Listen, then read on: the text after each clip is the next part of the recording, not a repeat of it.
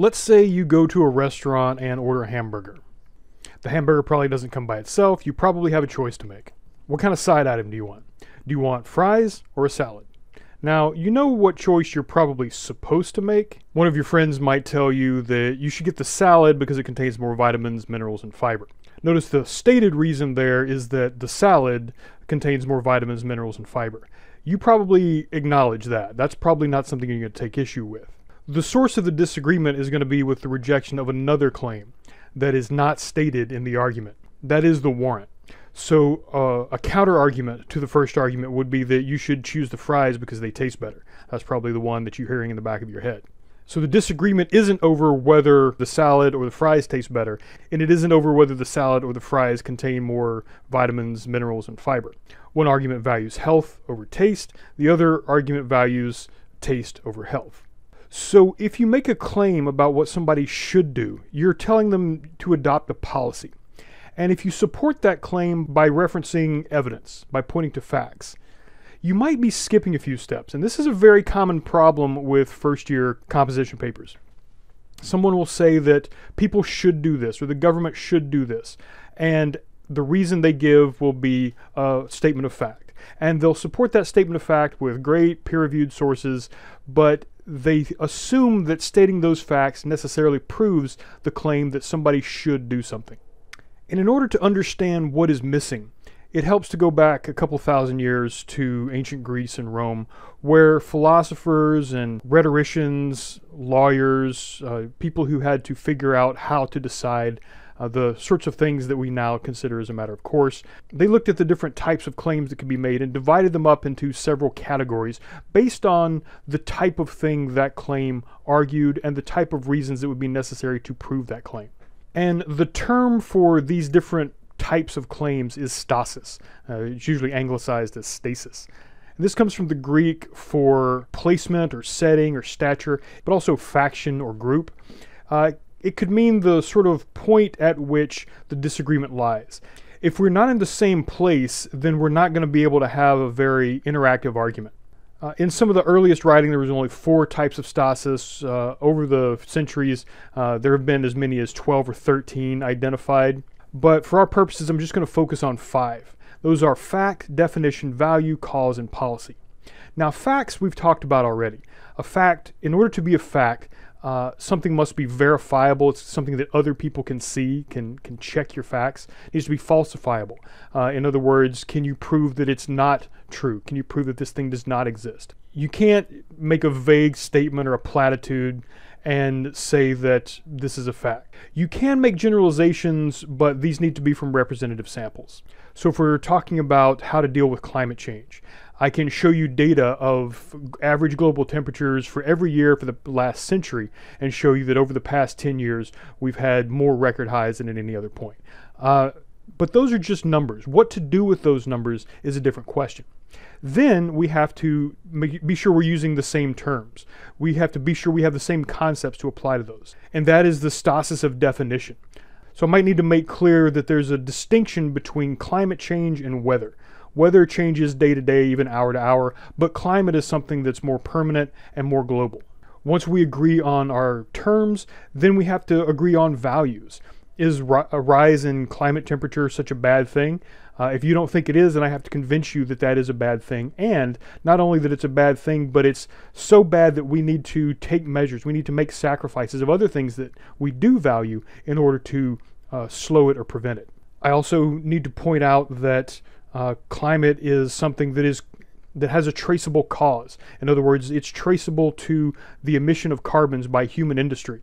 And if we're going to change it in the long run, I have to show that there is a plan that if we take certain actions, it will eventually cause this effect. Uh, if I can't prove that anything we can do will actually uh, improve things, then uh, it doesn't really matter what the facts are and what we want to happen so once I find a cause and then I point out how certain actions will have certain consequences, then we have to decide on what to do about it. And that is the stasis of policy. Now, there are different kind of policy arguments I can make. I could say, well, the laws need to change, or I could say we should only support businesses that use green energy policies, or individually we should take these steps ourselves. But anytime we say somebody should do something, that is a policy claim.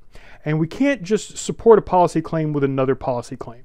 I can't say you should do this thing because you should do it. That would be a circular argument. That's why it helps to be able to put these different types of stasis together in a structure and use this to figure out how to structure our, our arguments.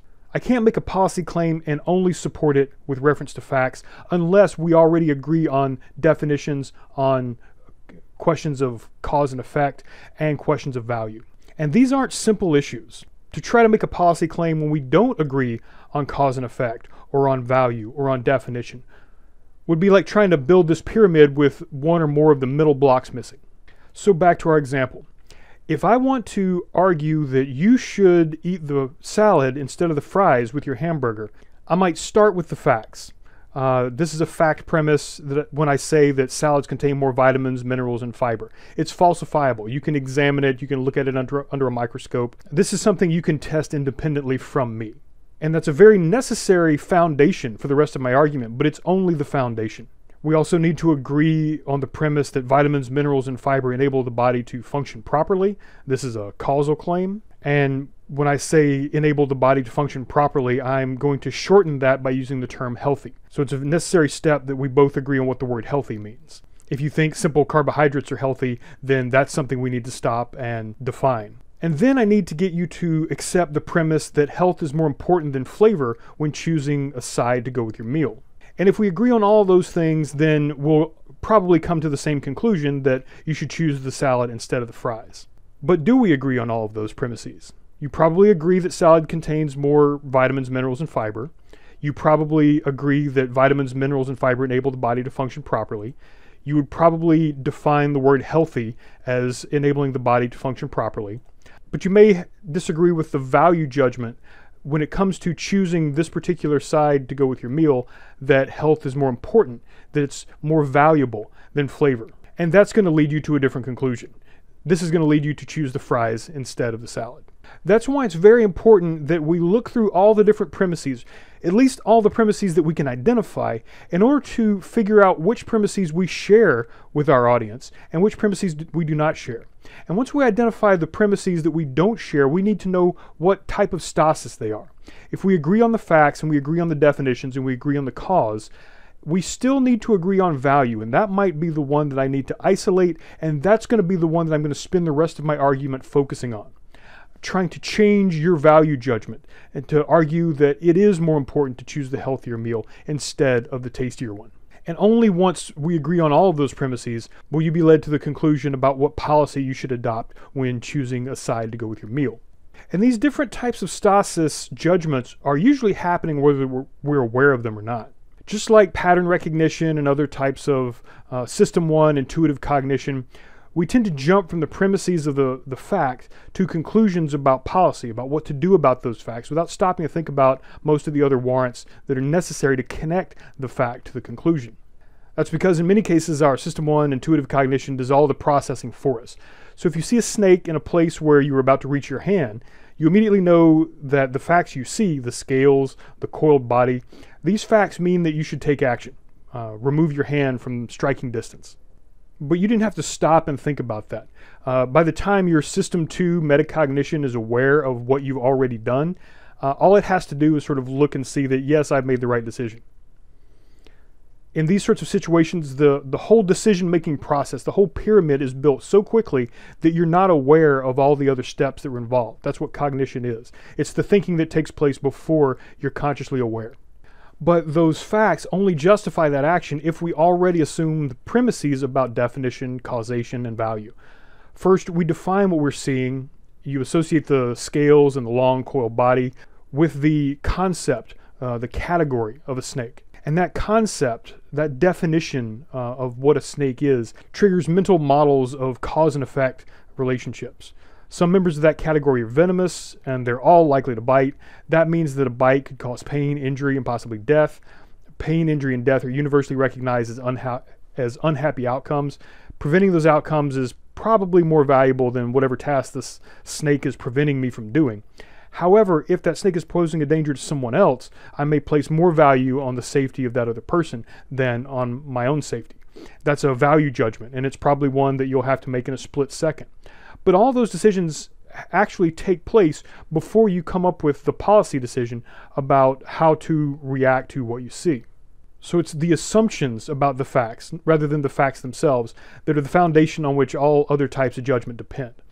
So facts are the real, verifiable data that exist in the world that trigger our inferences about patterns and heuristics that we use to function in the world. All these premises are inferences that we make after recognizing the facts. We connect the individual facts to familiar patterns, familiar frames about the world and how the world works. And I've talked about in another lecture how to separate facts from BS, from just vague uh, statements that sound like fact but are actually just speculation, claims that are unverifiable because they're so abstract. A fact has to be falsifiable. It needs to be something that other people can independently verify. If it's not verifiable, it's just conjecture, speculation. I'm supposed to just take your word for it. But we can't treat every single fact, every single instance, every single object, and every single event as a unique snowflake. We have to make generalizations in order to learn from those individual events or individual objects. This is called generalization. And you know, there is a fallacy called hasty generalization. This is where we start with a particular event or particular person or particular object, and we then jump to a conclusion that all objects in that category or all people in that category uh, are all the same. That's a hasty generalization, but we have to make different types of generalizations. We don't want to be hasty in our generalizations, but we do still have to make generalizations. So remember our white swan premise. If I assume that all swans are white because all the swans I've ever seen are white, then I'm making a generalization. And for a long time, this generalization was made on a representative sample of evidence given what people in the Americas and Europe and Asia and Africa knew, that was a pretty good generalization. It explained all of the available evidence. So you, as you travel around the world, all the swans we see in North America are large waterfowl with long necks and white plumage. So we can make the generalization that swans are large waterfowl with long necks and white plumage. We can go down to South America and see the same thing. All the swans there are large waterfowl with long necks and white plumage. Go to Africa, same thing. Europe, same thing. Asia, same thing. Large waterfowl, long necks, white plumage. It's only when we get down to Australia that our generalization is thrown into question. There, the swans are large waterfowl and they have long necks, but they don't have white plumage. They're black. So each individual swan I see in all of those continents is a fact in itself. Uh, the color of its feathers is a fact. But I make a generalization to try to explain the facts that I've seen and use that generalization to predict that the next swan I see will also have white feathers. However, discovering that swans can be black requires me to rethink not only our grasp of the facts, but also how we define our concept of swan. Do we need to revise our generalization? uh, of the swan from a species of waterfowl with long neck and white plumage? Or do we need to create a new definition for a new bird? Is the black swan a different species? Do we put these two types of birds into two separate categories and then give them the, each their own definition? Or do we revise the definition to include black and white swans? Knowing what the facts are is only the first step in deciding what inferences to make about those facts, or what conclusions they can support. So we need to generalize in order to learn from experience in order to know what to do with the individual facts we discover. That means putting these individual facts into larger categories. But we don't want to overgeneralize because then we'll assume we know more than we actually do. The purpose of a category isn't to contain everything. It's to keep some things together but separate them from other things, and that's metaphorically how definitions work. The word definition comes from the classical Latin word definere, uh, which means to end or to terminate. Uh, that's the same root word is in the word finite or infinite. The fin in the middle uh, means the the border, the limitation. And we have to put borders around our terms so that we can limit what we mean. If a word means too many things, take for example the word thing. If I ask you to go in the other room and get that thing for me because I want to do this thing with it, I'm not giving you enough information to know what it is I'm trying to describe whatever the, the fact in the other room that I'm referring to, uh, I haven't connected it with a specific enough concept for you to be able to follow through with what I want. So if I describe a recent cultural phenomenon and say this is a thing now, or if I say that I have a thing about those kinds of things, uh, I'm not really explaining myself very well. you have to make a lot more inferences about what I'm trying to say. And if the listener or the reader has to make too many inferences, that listener or reader is more liable to misinterpret what it is that you actually intend to say. There are too many things in the world. So we need to define things as narrowly as we can. So when we establish a definition, we're establishing criteria for categories that we can use to separate things in the world. So with our white swan example, if we want to be able to distinguish a swan from other types of animals, we can start by defining it as a bird. We separate birds from other animals based on criteria like they lay eggs and they have feathers uh, rather than fur or scales. Within the category of birds, there are aquatic birds and non-aquatic birds. Being aquatic, they share characteristics like the habitat they share with beavers and alligators, but they share characteristics like having feathers and laying eggs with other birds. So if we define a swan as being an aquatic bird, we separate them from other animals like fish and beavers, as well as non-aquatic birds like eagles and parrots. But most of the time we encounter a swan, we encounter it with other aquatic birds like ducks. So how do we specify a definition of a swan that will help us distinguish it from a duck? Well, we could add to the definition the criteria of having a long neck. With each criterion we add to the definition, we get a smaller group of facts that fit into that category. And that's a good thing. Uh, specific definitions help us distinguish objects in the real world. Defining a swan as a large aquatic bird with a long neck allows us to quickly and easily distinguish it from beavers, ostriches, parrots, ducks, but what about flamingos? They're also large aquatic birds with long necks. Well, there's the difference in color. So we can add the criterion of white plumage. Now we have a definition that's pretty good at defining, separating swans from other animals. But there's that problem of the black swan. Our definitions have to be revised from time to time to keep them accurate. Our experience in the world and our communication with other people leads us to have these operational definitions uh, that we use to determine how to categorize the individual facts that we come into contact with. When we directly experience something in the world, we perceive it. The things that we perceive are called percepts. But as soon as we perceive something, we quickly cycle through our pre-existing concepts for the ones that match the percept. So notice the difference between a percept and a concept. If you see a German Shepherd, you recognize it as a dog and as a pet. Uh, it's a pet, but it's not a cat. It's a canine, but it's not a wolf. We share these categories with most other people, but we don't always share exactly the same definitions. Definitions establish criteria for distinguishing between things. We may share many criteria, but we may also be carrying around criteria that are not shared. One person might perceive a fully grown German Shepherd and match that percept to the concept of a cute and friendly puppy. Another person might see the exact same dog, the exact same facts, and match those percepts to the concept of a threatening attack dog. In these cases, the concept has more to do with the inference about the dog than the dog itself does. And because our concepts differ, we can look at the same perceptual information, the same facts, and choose different terms to describe them those terms carry with them concepts and assumptions that frame the facts. For example, during Hurricane Katrina, when New Orleans was flooded, people were trapped for days with no food or drinkable water. People often had to forage for themselves and take food and water and other necessities from abandoned stores. At the same time, some people were breaking into stores that sell electronics, jewelry, and other high priced, non survival products. This is usually described as looting but it's less clear how to define the act of taking something that doesn't belong to you in a survival situation. Is that still looting? Is it finding? Is it foraging? Is it stealing? Is it appropriating? When the police do it, they call it commandeering. Uh, these two photos were both posted within a few hours of each other during the flooding that followed Hurricane Katrina. In both photos, people are taking food from abandoned grocery stores. The captions for the photos are slightly but conspicuously different. The guy in the top photo is described as, quote, looting a grocery store, end quote. The people in the bottom photo are described as, quote, finding bread and soda from a local grocery store, end quote. These photos were taken by different photographers and published by different media outlets, so it's not like the same person is using one word for one person and a different word for others doing the same thing. But the contrast in the descriptions quickly became the subject of debate since the man described as looting was black and the people described as finding were white. Now, when they when the photographers were asked about the captions they chose, the guy who chose the word looting said that he saw the person go into the shop and take the goods, and that's why he wrote looting in the caption. So we have an implicit definition of what looting is. It's going into a shop and taking the goods according to the person who chose the word.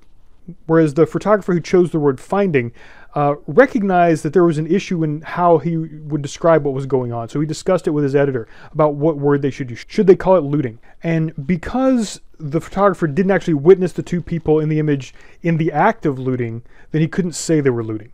Or what is the act of looting? Well, this photographer said that I believed, in my opinion, that they did simply find them and not looted them uh, in the definition of the word.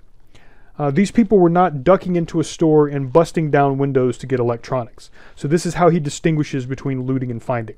Looting would be ducking into a store and busting down windows to get the electronics, uh, whereas these people weren't taking electronics, they weren't busting down windows, they were just taking things that were floating out of a flooded store. This is what he seems to be calling the definition of the word looting. Well, when we have a question about definition, frequently our first source is to go to the dictionary. And in this class, I always recommend that you go to the Oxford English Dictionary because you get more than just uh, descriptions of definitions. You also get uh, the etymology, where the word comes from, but also uh, how the word's been used over decades and if not centuries. And in the case of looting, this is the same word that uh, was once used to describe like pirate loot. To loot, the verb meant to plunder or to sack a city or a building, uh, and then to carry something off that you got from that attack. And the, the verb loot was derived from the noun loot, which described goods, especially articles of considerable value, taken from an enemy, a captured city, etc., in a time of war, or in a wider sense, something taken by force or with violence. So we have three different definitions of the same word. The criteria that both photographers seem to use as to whether or not to choose the word loot seem to include going into the store and taking something. Uh, whereas the guy on top actually went into the store. The couple at the bottom actually took things as they floated out of the store. Uh, the second photographer who chose not to use the word looting also added the criteria about what was taken. Uh, and his description of electronics as the objects of looting uh, matches the Oxford English Dictionary uh, reference to loot as uh, something of considerable value, whereas the food would not be of uh, monetary value so much as uh, immediate survival value. But notice how both of these definitions are considerably uh, less violent. Uh, they just include walking into an abandoned store, not taking something by violence, not taking something from an enemy, which is a defining criterion of the of loot in the dictionary. So the words we use to describe facts in reality are shaped by concepts and conceptual frames that are themselves shaped by our personal experiences, assumptions, and prejudices. Uh, these concepts lead us to choose particular words when describing perceived facts, and those words shape the way that other people conceive of what we describe. So if we imagine being downstream of this communication process, uh, in other words, this photographer sees someone taking something from a store, he describes that as looting in his article. The photographer might have been using the definition of looting as going into a shop and taking something, even though he was unopposed, he was not using violence, and he wasn't taking something of high monetary value. Then he writes that word and having no other source of information, a woman who reads the caption may have the second definition of looting, the one the other photographer used, which is ducking into a store and uh, busting down windows, so you know doing violence to the store itself, if not to a person, and then taking something of high value, uh, of only monetary gain rather than survival gain. And then if she uses that word to describe some to describe this man later on. Uh, let's say that this is uh, someone who knows this person. Let's say uh, this guy is trying to get a job somewhere, and it turns out that there's a picture of him from the time when uh, New Orleans was flooded uh, described as looting. And the guy who's going to decide whether or not this guy gets a job uh, says that, well, if he was looting, that meant that he was taking articles of considerable value from an enemy by force or with violence. And by now, we may be looking at some of the same facts, but a lot of inferences have been attached to that, those facts, the visual data, the visual perception, that were not there in the original scenario. That is, the concept created a frame which led to a misinterpretation of what actually happened. The words we use when describing particular things bear with them the weight of conceptual frames. And remember how coherence works. We look at a particular object and we don't just see the object itself, but we look for a frame to put it in. Uh, these frames are encapsulated in definitions. And a lot of times value judgments are, are embedded in those definitions. Like when we describe something as natural versus unnatural. If I say that I don't want to eat genetically modified corn because it's unnatural. I, I, not, I not only mean that it was uh, engineered by human science, but I also mean that there's something wrong with it. Maybe it's unhealthy, or maybe I just think it's unhealthy, but unnatural has a negative connotation. But someone could say the same thing about non genetically engineered corn. Uh, teosinte, the plant that corn was cultivated from, looked very different, and the cobs of corn, if you could even call it that, looked more like wheat because this is what it's related to. So, over centuries of selective breeding, teosinte was slowly engineered into becoming what we now think of uh, in America as corn, what the Europeans call maize. So modern corn is equally unnatural, it just took longer to uh, change it. Through the same sort of selective breeding, we've also bred modern domesticated cattle from the uh, ancient aurochs. Ancient cattle herders didn't genetically engineer in a lab the, the modern modern cattle, but by picking the ones that were more docile, the ones that were easier to herd, they took something natural and made it unnatural. The same thing with domesticated dogs. In fact, some breeds of domesticated dogs have been uh, deliberately or unintentionally bred to become cuter and smaller and uh, more like little toys than their wolf ancestors. But this causes problems. If you have a pug, you know they have respiratory problems. They have a hard time breathing because of the shape of their face.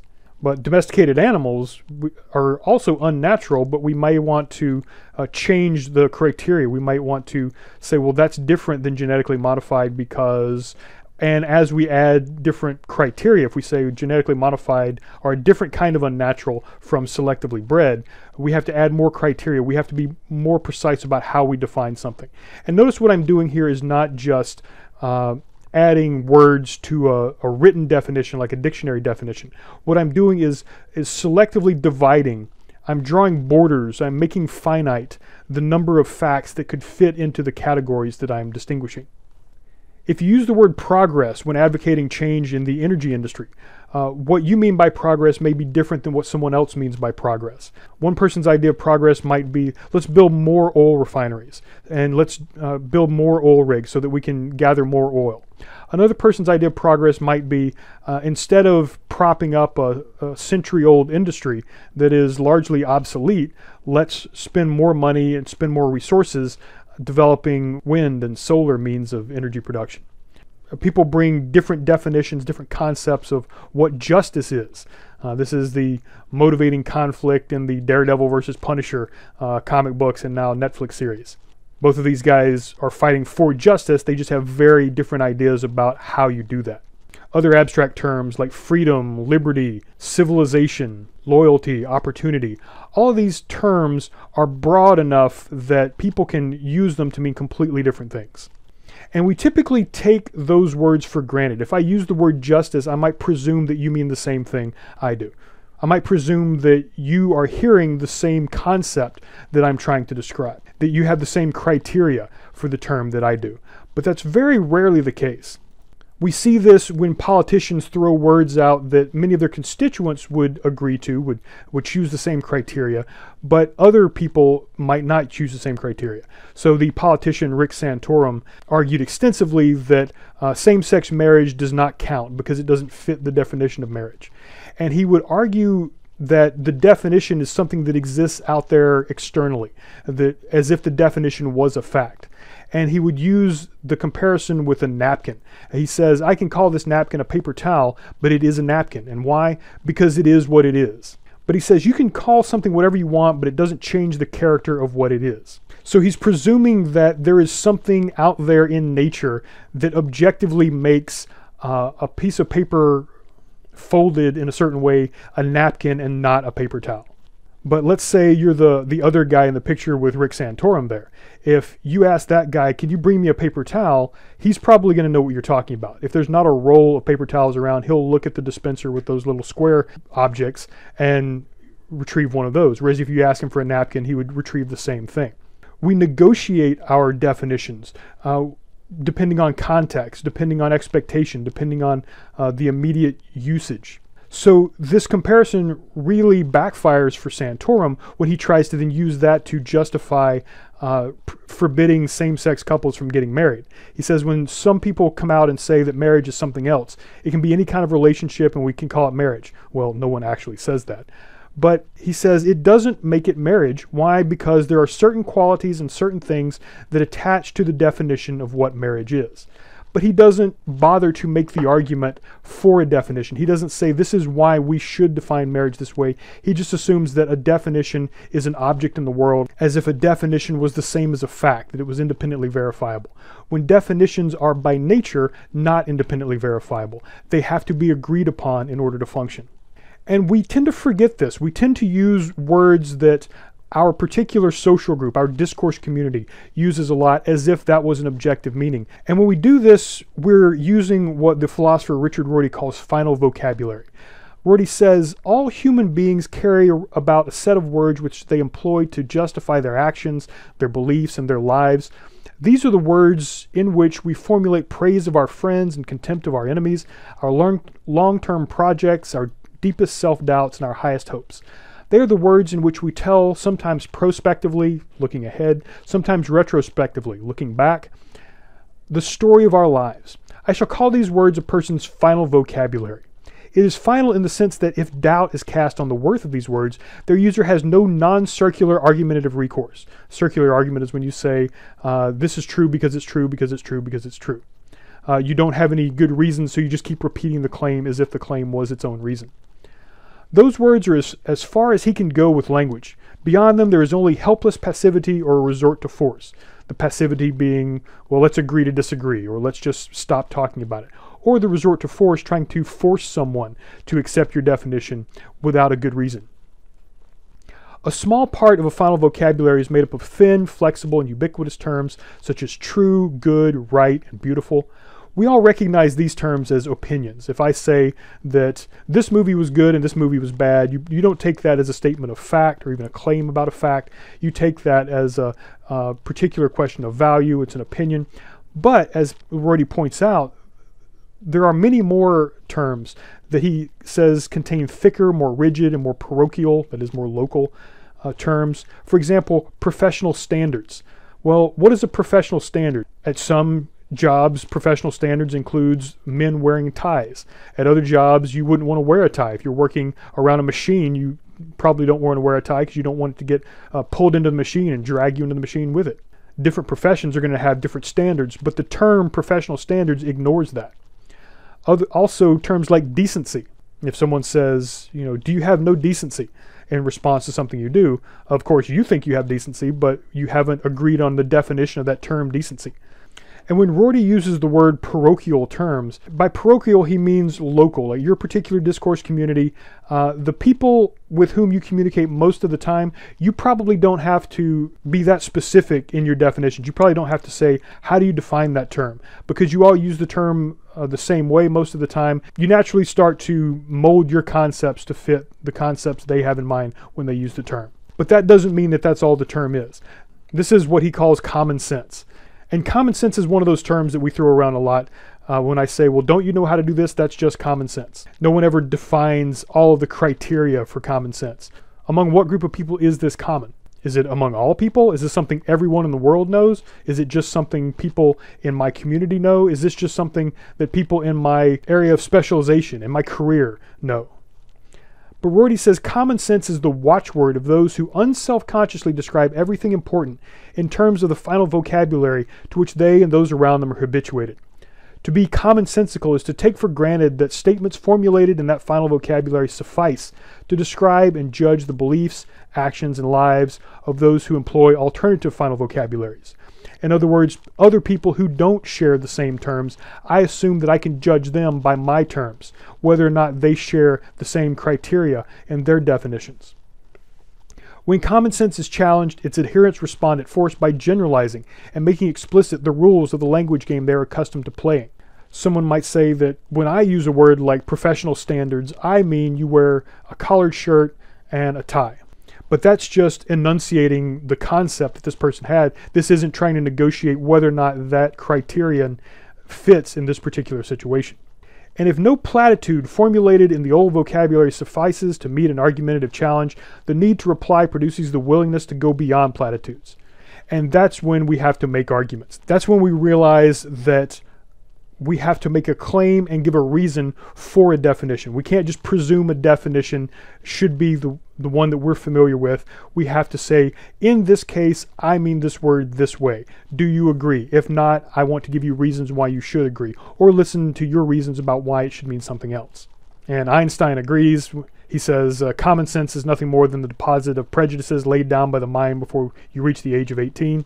And prejudice here is an appropriate term as long as you don't confuse it with something like racial prejudice. We typically use the word prejudice just to mean racial prejudice or gender prejudice, but in this case, it's any prejudgment. Common sense is prejudgment. And if something is prejudged, it means you haven't thought about all the premises necessary in order to reach the conclusion. It's a foregone conclusion. And just like every other foregone conclusion, when you come to when you meet resistance, when you meet someone who comes to a different conclusion, that means you need to figure out what your premises are and see which premises you do not share. So if we can't depend on common sense to lead us to matching definitions, uh, we tend to then default to the dictionary. And that's not a bad place to start. And I recommend you start with the Oxford English Dictionary for reasons I've mentioned earlier. But you'll notice as soon as you get there that your main problem is there's too many definitions most of the time. Some of them fit the precise way you're trying to use a word, the precise concept you're trying to use, uh, but some of them don't. So if you're using the word to mean one thing and someone else might interpret it to mean one of the other definitions, that's a problem, even though they're all uh, found in the same dictionary. But more importantly, dictionaries follow usage. They they're not authorities in themselves. You can't point to a definition and say the dictionary says this is the definition, therefore that's it. That's all it means. Uh, you have to accept the definition that the dictionary gives you. The dictionary tries to keep up with the way language is used. It doesn't set rules that everyone else then has to follow. This has been true for as long as there were dictionaries. Some of the earliest dictionaries, like the Dictionary of the English Language composed by the prolific writer Samuel Johnson, were attempts to try to regulate things like spelling, to try to at least get people on the same page, literally, uh, when it comes to using a word a particular way. But what he found was that by the time you add all the different ways uh, a word is used, you find that uh, there are too many definitions for one word, that those each of those definitions has to be subdivided into other definitions. And Johnson, in particular, didn't take himself too seriously as any kind of word authority. In fact, he defines his job as a lexicographer, uh, as the writer of dictionaries, a harmless drudge that busies himself in tracing the original and detailing the signification of words. So, not exactly an authority. Uh, when he's calling himself a harmless drudge, he's at least saying that he's trying to be helpful, but he's not even clear if he's actually helping, but he's at least declaring that he's not harming by compiling these definitions. That means whenever we want to make an argument, if we want to make a policy claim or a value claim or anything like that, we have to first agree on the meanings of the words and the way we use a word in a particular instance. Uh, might be different than the way people normally use it. This is the problem that Jonah Lehrer confronted in his article that we read in the first case study when he had to define stress in a way that was different than the way most people thought of it. He recognizes that most people look at stress with a definition something like an unpleasant mental state with a few long term consequences. But that idea of stress as a feeling is not an incorrect definition. But notice if he's going to get you to understand Robert Sapolsky's research into the effects of chronic stress in the form of glucocorticoids on the immune system and on brain development, he's got to get you to think of stress by another definition. He has to define, he has to separate out different potential meanings of the word stress and has to push aside the meaning of stress as a feeling and just focus on stress as a medical issue, as a chemistry problem. So he defines this new view of stress that our physical health is strongly linked to our emotional state. It's a molecular definition, it's one that can be quantified in terms of glucocorticoids in the blood, and it's a critical risk factor predicting an even larger, an ever larger percentage of health outcomes.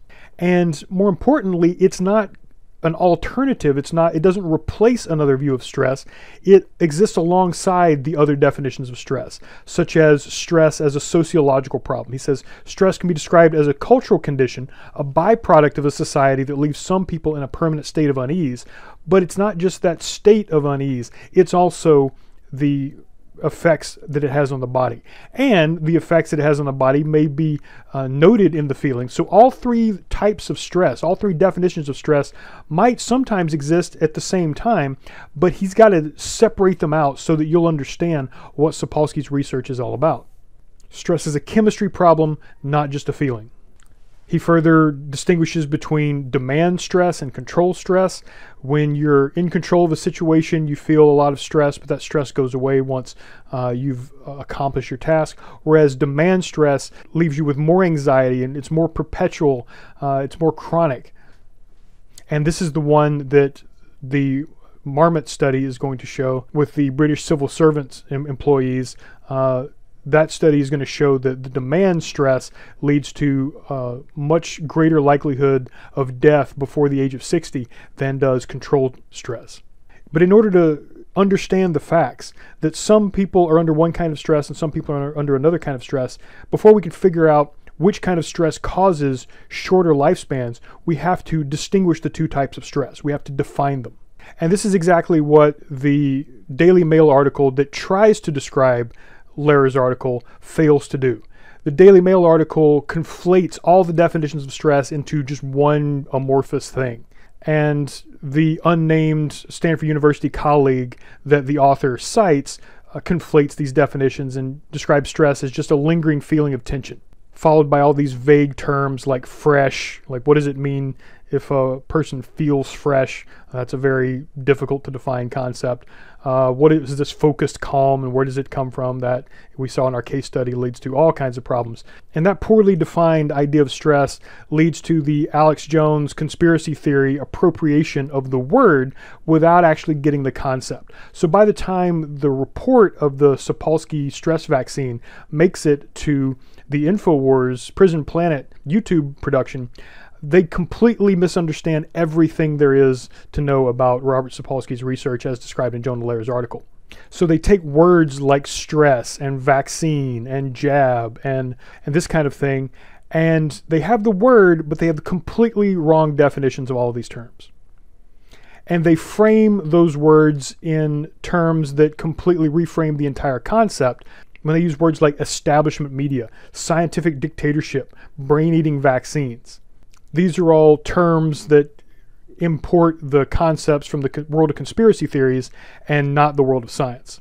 Then there are words like lobotomize, rewire, neuter, sterilize, and those could also be called outright falsehoods, but they are words that are taken from scientific research, mostly very old and obsolete uh, scientific research that's no longer conducted. But they seem to be used metaphorically here. They're figurative language. Uh, and if that's the case, they're still misleading, but they reveal a lot about how Alex Jones and his group define any kind of medical intervention. We saw the same thing with Jenny McCarthy's response to Brian Deer's article. She throws around a lot of terms that are very misleading because they have too many potential meanings. And the one she seems to be using, the one in which the sentence would be true, does not actually describe what is happening in Brian Deer's article or what it describes. So if I take the word debate, uh, there's no debate among scientists about the, uh, any connection between the MMR vaccine and autism. Debaters have to back up their claims by logically connecting facts to claims, and the anti vaccine crowd has not done that. So instead, they use a fuzzy definition of the word debate that seems to include post hoc fallacies and confirmation bias thrown up by anybody who just has a knee jerk opinion about a subject that they really don't understand. When she says things like calling Brian Deer dubious and saying that his evidence is just a series of allegations and that the response to it is just hoopla. Uh, Brian Deer thoroughly documents his case, and it's clear from reading McCarthy's diatribe that she's completely unfamiliar with the case that Brian Deer constructs. So dubious here simply means that she doesn't believe the version of the conclusion that she's read in another Huffington Post article. Uh, she doesn't even know what his allegations are. And so the word allegation here is just used to focus on Deer's conclusions and, and completely ignoring his evidence. She then uses words like stronger and determined to fight for the truth, which implies that there is a fight going on, that there is an attack, that uh, people are attacking the mothers of children with autism because they think they're weak and they want to hurt them or something like that but these vague terms import a concept that's completely alien and completely inappropriate to Brian Deer's evidence that Andrew Wakefield deliberately forged evidence in his study. The terms used in Jenny McCarthy's uh, author bio in the Huffington Post is equally problematic. Uh, if she's completely misrepresented Brian Deer's case, we can hardly call her honest. And if she dismisses all science and all evidence uh, based on her own personal belief, well, you can call you can hardly call that humble. She's described as an influential activist in the world of healing and preventing autism. Notice how far we are from any kind of falsifiable claim. For one thing, you can't heal or prevent autism. Autism is primarily a genetic phenomenon, and it's a spectrum disorder. At one end of the autism spectrum, there are people with Asperger's syndrome who just have a little trouble fitting in socially, uh, not that significant. And then at the other end, you have people that cannot functionally distinguish between other human beings and animate objects in the world. And as a child develops, a child with who's somewhere on the autism spectrum is going to uh, shift. Their symptoms are going to change. Sometimes they'll be worse, sometimes they'll be better, just like every other child. And just like every other child, as they mature, many times their social understanding will improve significantly. So saying that there's a there's healing or preventing autism is making a causal claim, and that causal claim is not supported by any kind of uh, criteria. But to even know what healing autism would mean or preventing autism would mean, those terms are not at all defined. So before we can establish any kind of conclusion, we have to agree on the terms that we use. And if we're using the same words, but we're not connecting the same concepts, if we're not connecting the same criteria, if we're not connecting those words to the same frames, then the way we're framing the evidence is going to be different from person to person. And we're not going to be able to make our case about a policy judgment or a value judgment or a causal connection. So if we think of facts as being the base of the pyramid, everybody has to agree. Before we can go any further, there has to be something in reality that we're all pointing to, that we're all uh, dealing with. Once we establish what the facts are, uh, we're not going to be able to describe those facts unless we're using the same definitions, unless we define our concepts, uh, our frames to decide which facts fit into them and which do not, which are uh, outside the finite boundaries of our uh, conceptual assumptions. And you, when you write a paper, you don't necessarily have to do these things in this order. If I want to make a claim about cause and effect, if I want to see, say that one thing causes another, uh, I don't have to agree with my reader about what thing is better than the other or what we should do about it. But I do have to agree on what the facts are and how we define our terms. Similarly, if I want to say one thing is good or one thing is bad, we don't have to agree on what causes what, and we don't have to agree on what we should do, but we also have to agree on how we define our terms and what the facts in the particular case are. And in the next lecture, we'll distinguish between these three types of stasis. Uh, stasis of causation, stasis of value, and stasis of policy.